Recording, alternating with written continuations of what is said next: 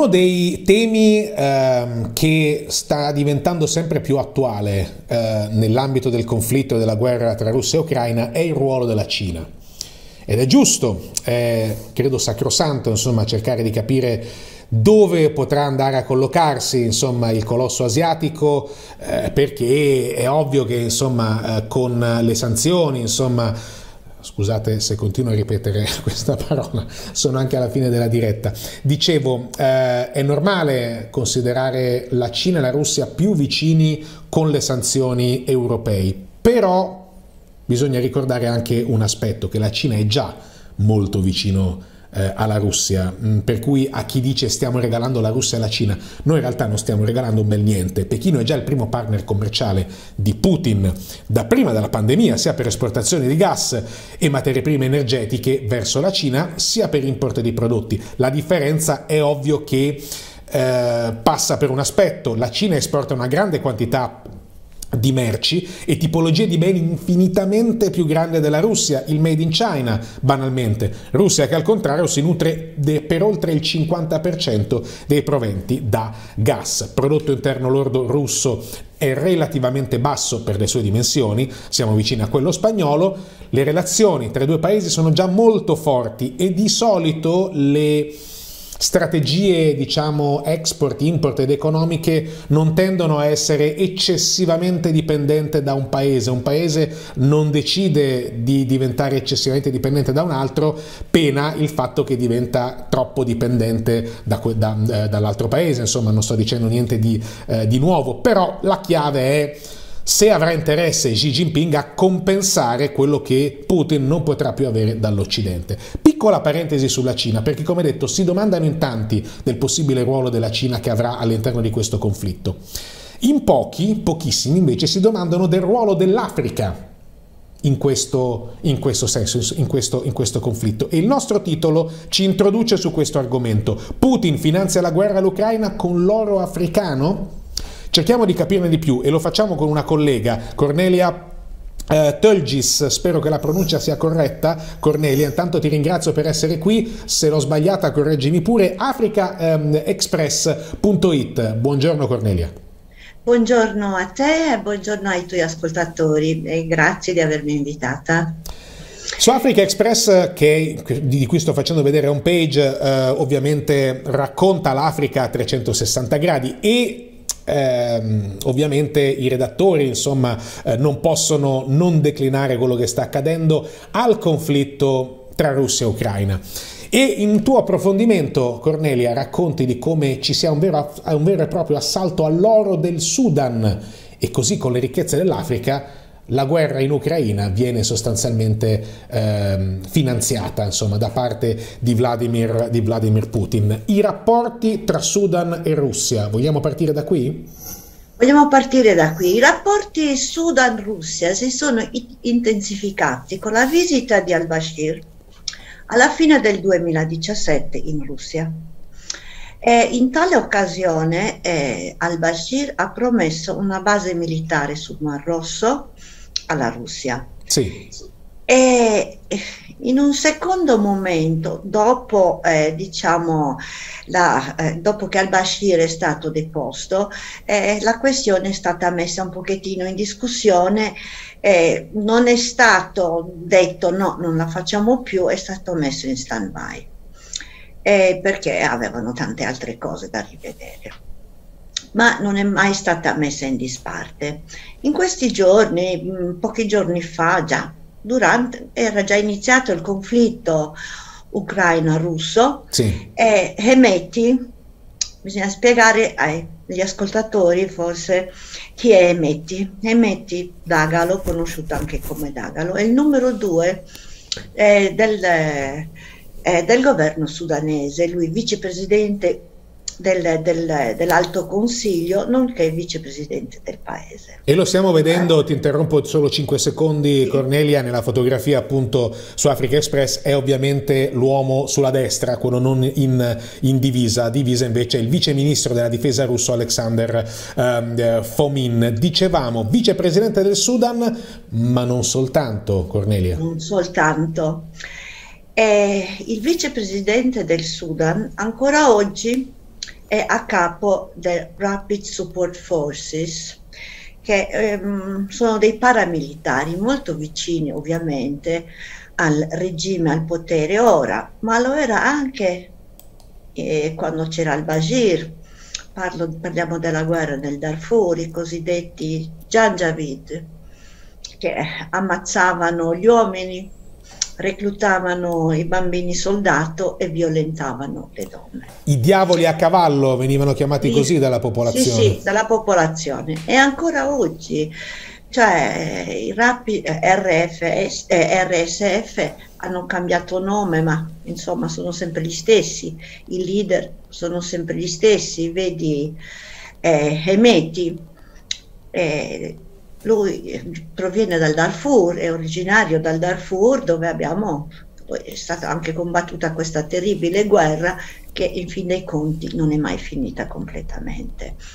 Lui è, e la sua famiglia sono anche proprietari di una grossa miniera, miniera d'oro, sempre nel Darfur, e esportano oro dappertutto, non soltanto naturalmente in Russia, anche negli Emirati Arabi Uniti, ne è stato esportato moltissimo. Il e Sudan è ricchissimo in giacimenti. È ricchissimo auriferi. di oro che pochi sanno in fin dei conti perché è soprattutto concentrato anche, anche nel Darfur. E Hemeti, essendo uomo, ex uomo di al-Bashir, ha saputo giocare bene le sue carte. E proprio appena ritornato ha, eh, dichiarato no no allora noi ora eh, questa base eh, possiamo dare la concessione per la, costruire la base a Port Sudan sul Mar Rosso alla Russia. Adesso i dettagli di questa base, io non sono una, non analizzo le, le questioni eh, diciamo militari, sicuramente parlerà nei prossimi giorni eh, il nostro addetto a questo, Antonio Marzeo sulle, sui dettagli di questa base, ma insomma la, eh, il Sudan è ben disposto a dare questa concessione alla, alla Russia per avere ancora una maggiore influenza eh, militare eh, in tutta la zona. E naturalmente ci sono anche oppositori che non gradiscono questo, tra l'altro anche professori universitari, leggevo poco fa proprio un articolo su Sudan Tribune e su Dabanga, soprattutto da Banga News, mh, mm, parlava appunto, avevano intervistato da Banga News un professore universitario, dice e bisogna analizzare meglio e Metti non ha la capacità mh, mm, di analizzare la questione di una base militare, che cosa significa, cioè un'accusa grossa da, da parte di un accademico. E comunque la Russia ha svolto un ruolo anche molto importante durante, eh, durante la, eh, come si chiama, mm, durante le insurrezioni di piazza eh, poco prima che venisse deposto al-Bashir. Sì. Uh, al-Bashir, eh, al-Bashir è stato sostenuto moltissimo dalla Russia eh, durante quel periodo, infatti abbiamo anche visto mh, mm, eh, sono stati ripresi proprio mh, mm, da screenshot e, e quant'altro eh, da diversi reporter la loro presenza come osservatori durante le manifestazioni di piazza. E alcuni rapporti eh, giornalistici dicono ancora oggi che eh, Wagner eh, addestri le proprie le forze di Rapid Support Forces. Naturalmente documenti ufficiali in questo senso non esistono, non ne, non ne abbiamo a disposizione, ma eh, molti, giornali, molti rapporti giornalistici parlano di questo. Ecco, allora il legame è molto stretto, non soltanto militare, come abbiamo detto, ma anche dal punto di vista interessi. Se la Russia dà qualcosa, ovviamente vuole qualcosa indietro. Russia, chi... non è... Sì, no, no, prosegui, prosegui pure Cornelia. Mm, scusa, no, il, ma la questione non è soltanto in Sudan, vediamo in Centrafrica, il Centrafrica, dove ormai dal 2018-2019 sono arrivati Wagner, dove persino il consigliere per, per la sicurezza nazionale centrafricana è un russo. E, insomma, l'influenza russa sta galoppando, ora è arrivata anche in Mali e non peraltro i francesi, i partner, eh, i partner europei, compreso anche il Canada, se ne stanno lentamente andando dal Mali proprio perché non possono eh, addestrare da un lato l'Europa addestrare le truppe maliane e dall'altro ci sono anche eh, i russi, insomma questa cosa non, non, non va bene, non va bene. Le, L'Europa ha detto no, la Francia si è ritirata anche perché sono riusciti a ehm, fare una propaganda molto importante antifrancese e anti-europea eh, in Mali. Ma eh, come abbiamo visto proprio ieri siamo usciti con un articolo e abbiamo detto eh, è stata eh, aggredita una base, proprio una base importante in Mali e i russi non sono riusciti a eh, ovviare questa, questo massacro bisogna poi vedere come si eh, evolve tutta questa situazione. Cioè, anche con i francesi gli attacchi sono, sono stati importanti da parte dei jihadisti, ma eh, con l'assenza dello Stato centrale questo continuerà. Ci sono vari articoli, vari approfondimenti su Africa Express legati, ehm, che lega, che collega Africa e eh, conflitto, conflitto Ucraina-Russia, ad esempio eh, insomma in Senegal l'ambasciata ucraina ha provato a reclutare volontari contro l'invasione, Senegal paese che si è dimostrato neutrale nel ah, schieramento sì. all'interno delle, delle, votazioni dell'ONU, condanniamo o sì, sì, meno eh, l'invasione russa. Senegal ha deciso di non schierarsi e infatti il governo di Dakar non vede di buon occhio l'iniziativa insomma, da parte dell'ambasciata, dell'ambasciata ucraina. Um, tornando al tema dell'oro del Sudan, io insomma, leggendo appunto il tuo approfondimento eh, ho, ho scoperto che in Sudan c'è anche il Ministero delle Miniere eh, per far sì. capire insomma quanto sia ricco in giacimenti auriferi e correggimi se sbaglio Cornelia, molti di questi giacimenti sono posso chiamarli abusivi, cioè dove teoricamente sì. non dovrebbe avvenire l'estrazione per le condizioni molto pericolose in cui eventualmente i certo. minatori si, si dovessero eh, trovare?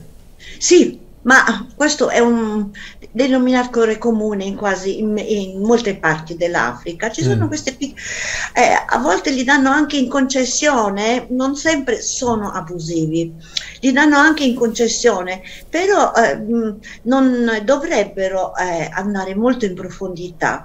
Invece si chiude un occhio, si fa finta di non vedere e poi eh, succedono incidenti terri terribili, terrificanti, eh, come ho citato, se non ero nell'articolo, a dicembre mm, oltre 30 min, eh, minatori sono morti.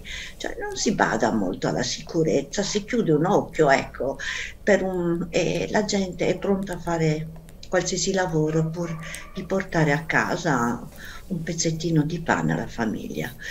E questo oro, questi, anche queste miniere però sono sorvegliate militarmente, però io, siamo convinti che militarmente si intende Rapid Support Forces, che sostituisce l'esercito regolare molte volte. Ecco.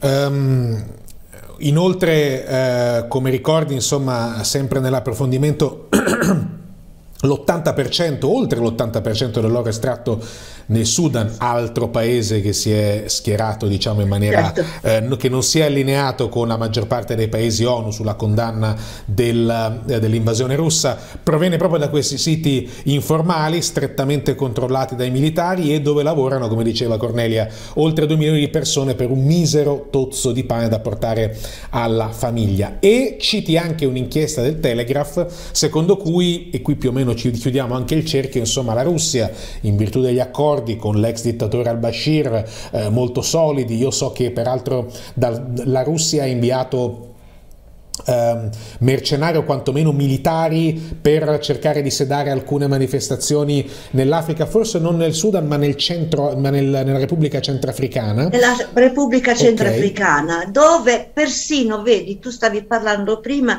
eh, dei legami Russia-Cina, sì, ma sì. Eh, in, in Centrafrica eh, sembra, ed è stato riportato da Corvo News, che è un giornale locale che parla di Centrafrica, sì. eh, sembra che abbiano persino cacciato eh, da piccole miniere gestiti da, ufficialmente da, da, cinesi che hanno avuto la concessione ufficiale, hanno detto bene andate, ora questa miniera è nostra. Eh, c'è un articolo, mi sembra di maggio dell'anno scorso, dove abbiamo accennato anche questa faccenda, cioè anche con i cinesi la guerra tra di loro. E non, e non dimentichiamo che qualche anno fa sono stati uccisi addirittura tre giornalisti russi che indagavano sulla presenza di Wagner in Centrafrica i veri fautori, ovviamente le ricerche non sono mai state fatte, non si sa ancora oggi chi siano i veri responsabili dell'uccisione di questi tre giornalisti, ma sicuramente a qualcuno davano molto fastidio. Dicevo e insomma ehm, sacrosanta insomma questo, questa parentesi che hai, che hai, aperto sul tema Cina con cui più o meno ho voluto introdurre l'argomento Africa. L'inchiesta del te, citi il Telegraph secondo cui appunto la Russia avrebbe contrabbandato centinaia di tonnellate di oro dal Sudan negli ultimi, negli ultimi anni quadruplicando dal 2010 questa è una notizia che invece abbiamo avuto modo di leggere anche su, altre, su altri quotidiani insomma dal Sole 24 24 ore eh, e eh, così via. Dal 2010 il Cremlino ha più che quadruplicato la quantità di oro detenuta nella banca centrale. Eh, per qualcuno, per molti, per Cornelia, una sorta di forziere di guerra eh, e che in questo caso insomma torna più che mai, più, più che mai di attualità, diciamo così molto utile adesso per questa guerra soprattutto, può attingere al, ai suoi tesori e può, può, anche in un certo senso infischiarsi delle sanzioni ricevute, fino a un certo punto naturalmente. E si dice anche, avrei avuto modo di leggerlo, che è, è, tra la più ricca la Russia con le riserve d'oro. Mm? Sono praticamente maggiori riserve d'oro eh, di tutti i paesi. Non solo, non solo, cara Cornelia, sono, c'è più oro che dollari nelle riserve della, banca, della, banca, centrale e questo insomma è un altro aspetto. Tu hai citato un altro eh, fattore chiave del conflitto e del tema che stiamo affrontando, le sanzioni. Insomma, è, è come se in qualche modo la banca centrale russa si fosse mossa preventivamente nell'ipotesi e nella previsione che sarebbero inevitabilmente arrivate sanzioni più pesanti rispetto a quelle che abbiamo visto e osservato nel 2014, eh, ma che comunque permette in qualche modo eh, a eh, resistere insomma all'onda d'urto, all'impatto in maniera più ehm, eh, tranquilla, meno, meno, incerta, insomma alla, alle sanzioni, questa spinta verso la dedollarizzazione, possiamo usare questa, questa espressione. Bravissimo, mi piace, mi piace molto e non si è coperta bene le spalle, si è messa una buona corazza. Putin, eh, bisogna dirlo, ha, sa- ha, saputo giocare bene le sue carte, eh, tra virgolette ovviamente, non, eh, a discapito di, anche di molte vite umane che sono andate perse, e non, non solo in Africa, non solo in Africa, ma eh, voglio ripetere e sottolineare che eh, la presenza del gruppo Wagner ha, ha fatto soffrire molte persone in Africa, molte, soprattutto in Centrafrica dove mh, mm, non guardano in faccia a nessuno. Eh, chi dà fastidio, anche se sono eh, commissari di polizia o quant'altro, viene arrestato oppure sparisce. Per chi fosse Vai, vai, chiudi, chiudi pure Cornelia. Eh, chiudo con questo, che eh, la lotta contro i ribelli, perché sappiamo che dal 2013 è nata una guerra civile, vera e propria guerra civile in Centrafrica, della quale quasi non si parla, eh, la lotta non è tanto per eh, dare un sollievo alla popolazione, che eh, naturalmente sono sempre i civili che ci vanno di mezzo, è, è la lotta contro i ribelli per prendere il controllo sulle miniere e tutte le ricchezze. Per chi fosse incuriosito e interessato al tema, eh, sempre su africa-express.info c'è un video reportage definito eccezionale, ma eh, giustamente la storia dei mercenari russi della compagnia Wagner dal, dall'Ucraina all'Africa. È un eh, documentario interessante e inquietante che appunto eh, Africa Express ha messo in primo piano a firma Massimo Alberizzi che è anche il, il direttore che, che, salutiamo e ringraziamo. Abbiamo avuto modo anche di parlare con lui nel corso eh, di, questi, eh, di, questi, ultimi giorni. Eh, Cornelia grazie anche a te ovviamente per averci un po' raccontato aspetti che emergono e che vengono in qualche modo raccontati meno rispetto ad altri anche perché tutto sommato purtroppo eh, insomma, eh, le esplosioni, i missili, i razzi e la fuga di chi vive in Ucraina al momento inevitabilmente eh, diciamo, attirano più l'attenzione, ma questi sono aspetti che sono utili e interessanti per comprendere ancora di più in qualche modo quello che sta, quello che sta accadendo. Cornelia, buon lavoro e alla prossima. Ti ringrazio molto e saluto anche i tuoi ascoltatori.